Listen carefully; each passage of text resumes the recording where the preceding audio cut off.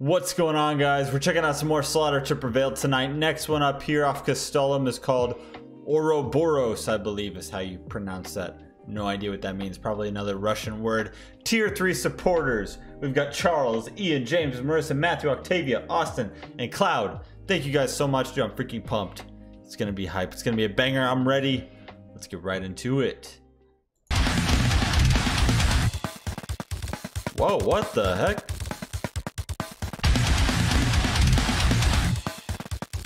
Getting staticky.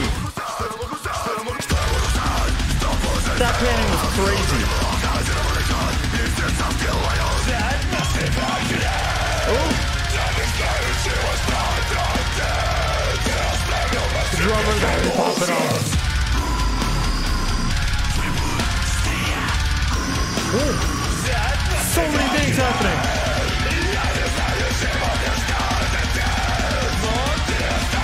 Oh, Lonzo lead there.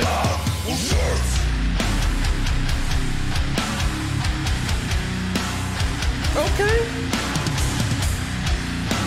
Oh, that's heavy.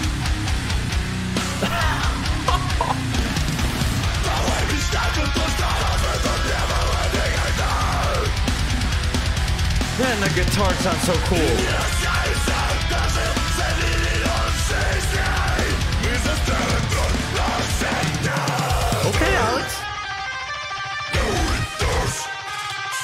What are they doing on this one?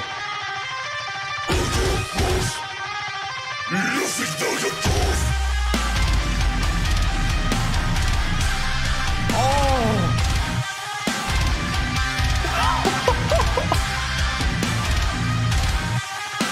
that sounds so cool. There's so much happening.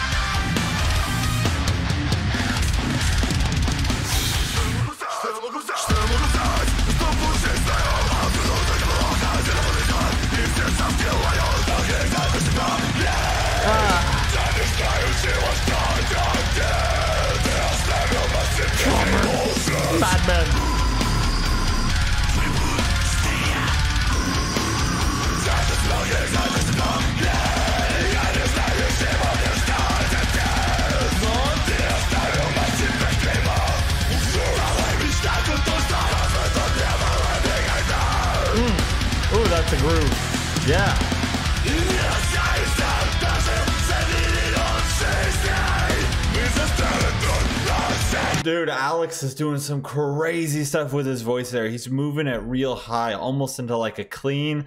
Holy crap, there's so much happening in this track. The guitar work is amazing. It sounds so cool, very different from anything else on the album that I've heard so far. Uh, the drummer is just freaking popping off. The riffage is amazing. Alex giving us some crazy good lows. Uh, dude, the freaking the panning on his voice when he comes in and he's over here, then over here, then over here, then over here. Like there's so much going on. It's so, dude, it's insane. It's insane.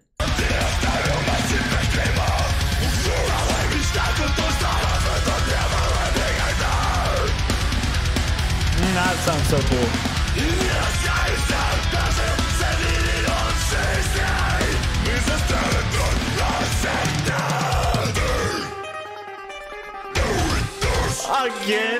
Switching it.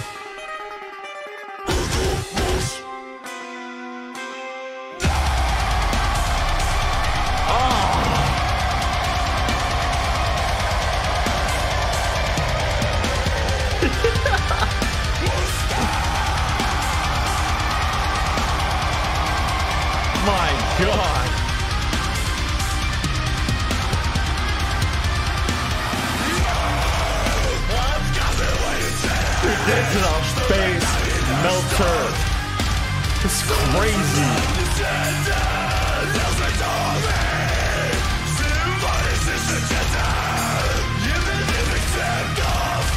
Love the quick kick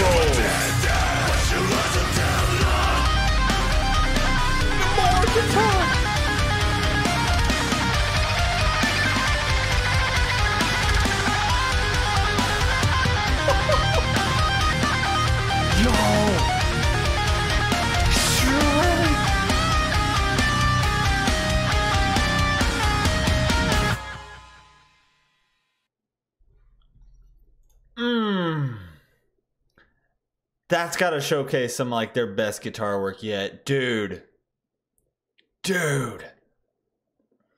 Mmm, this is gonna be up there with one of my favorites. That was insane. Oh my god, Slaughter to Prevail just keeps outdoing themselves. We got Ouroboros, I think is how you pronounce that, dude. I'm not sure. I don't know what it means. I don't know how to pronounce it, but this track was incredible. This is definitely up there with one of my favorites so far off the album. The guitar work. Oh my god, the guitar work. So freaking good. The lead guitar. Oh my gosh, doing so many crazy things. An absolutely incredible freaking solo. I would say that one there topped uh, the end to uh, Baba Yaga when at the end they had that really cool sort of guitar solo when they're all playing Russian roulette. I think it was Baba Yaga in the music video when they were doing that. I freaking loved that really awesome guitar moment. It was super hype, super uh, it, it, built up so much freaking suspense and energy. I loved it, but I think this slightly topped that for me. That was crazy there at the end. And there were at least two other moments in here we, where that lead guitar really freaking shine. The riffage was heavy. The drummer is always so relentless. Those quick bursts of kicks, those bursts of kicks sound so freaking cool. Alex doing some really interesting stuff with his voice once again, of course, giving us the huge lows, but pushing into some of that higher, almost clean kind of range, and then doing some weird effects with the panning where his voice is just fading from left to right, left to right at certain times. Just really, really cool stuff in this. Like a lot going on. Weird staticky distortion. Just so many things going on in this track. It was insane, dude. I freaking loved it.